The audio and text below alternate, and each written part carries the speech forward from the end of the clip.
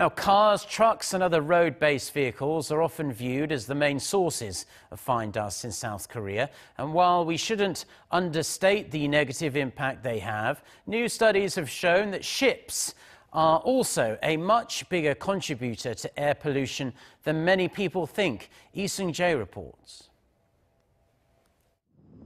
Thick, black smoke bellows out of a large ship anchored in the harbor.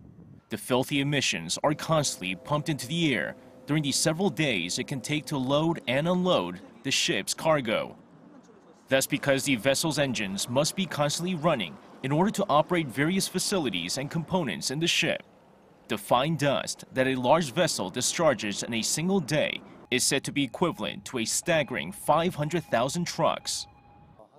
There are always about four to five ships here, and we're worried about the fine dust emissions. So the crew members always wear a face mask. Last year, more than 3,000 vessels came through Pyeongtaek port.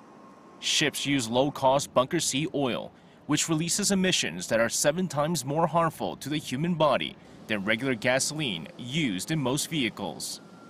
The bunker C oil, which contains a 3.5% sulfur content, is used oftenly. It's also being released into the atmosphere as it is, with no purification.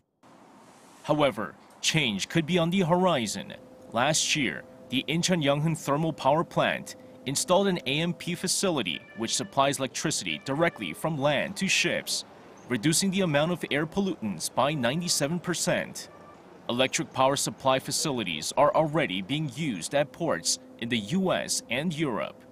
While such facilities cost around 1 million US dollars each, the South Korean government is planning to subsidize the costs in a bid to slash fine dust levels in the nation.